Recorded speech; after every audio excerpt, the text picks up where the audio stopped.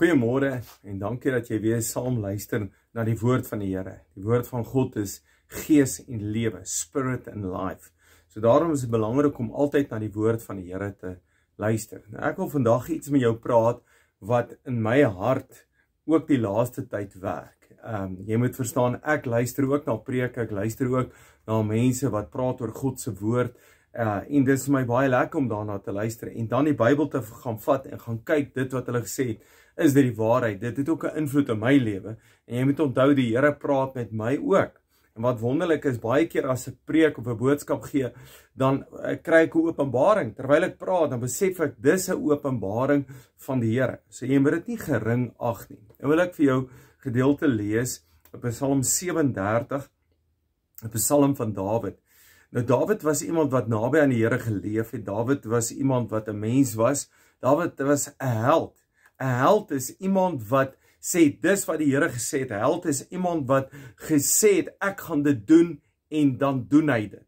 En dis wie Dawid was. Hy was 'n held geweest. Maar in uh, Psalm 37 vers 7 sê hy: "Wees stil voor die Here en wag op hom." Dan sê hy moet jou nie ontstel oor iemand wat sukses behaal op sy lewenspad nie, oor 'n mens wat komplotte smee nie. Um So uh, hy kom en hy sê wees stil en wag op die Here. Bly stil. Moenie jou nie ontstel uh, ontstel wees oor ander mense en mense wat komplotte smee nie. En ek dink Dawid, toe hy hierdie Psalm geskryf het, het is dit juis 'n tyd waar mense teen hom goed gesê het, mense teen hom gewerk het. Nou ek dink jy het dit ook al beleef by jou werk of waar jy is by jou familie, mense wat dalk skinder of mense wat goed van jou sê wat nie die waarheid is nie, mense wat planne teen jou maak. Jy kom so daar by die werk agter dat daar's mense by jou werk wat wat kan plotte teen jou het. Maar dan sê Dawid, hy sê wees stil voor die Here.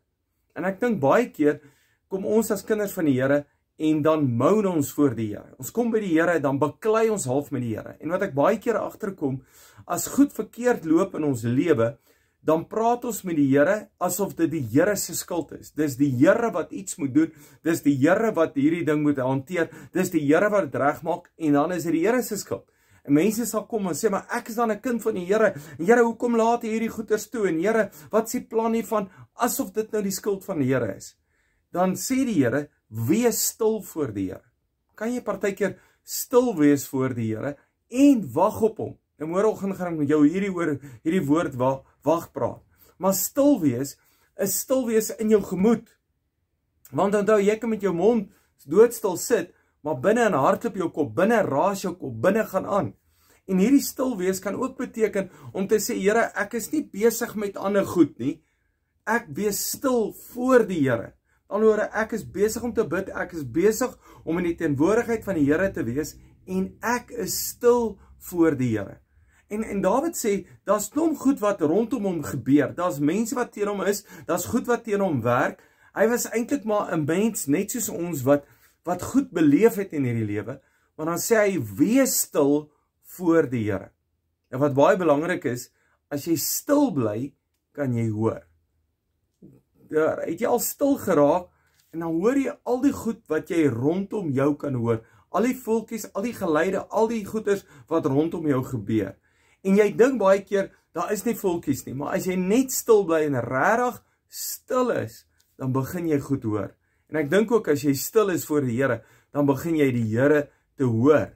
Jy begin hoor in jou gees. Baie mense sê hulle sukkel om die stem van die Here te hoor. Eintlik dink ek hulle sukkel om stil te bly stil te bly voor die Here want dit wat rondom hulle gebeur dit wat rondom hulle gebeur dit maak dat hulle praat. Hulle is ontstel met die goed wat gebeur. Maar dan leer Dawid ons wees stil voor die Here en wag op hom. Wees stil. Net nie vandag net dalk 'n oomblik stil bly oor al jou probleme. Jy weet ek dink die Here weet van al ons moeilikheid weet van jou moeilikheid want jy moan so daaroor dis net nie waar nie Maar kan jy 'n slag net stil bly voor die Here en net hoor dit wat die Here sê? Stil bly oor jou moeilikheid, stil bly oor alles wat rondom jou gebeur en net gaan sê ek gaan sit by die Here. Jy weet, ek en my vrou ry partykeer in die kar Pretoria toe. Nou is al lank stukke wat ons nik met mekaar praat nie. Ons hou net mekaar se hand vas want ons het so 'n goeie verhouding. Ons sit net by mekaar. Dis net lekker in mekaar se teenwoordigheid.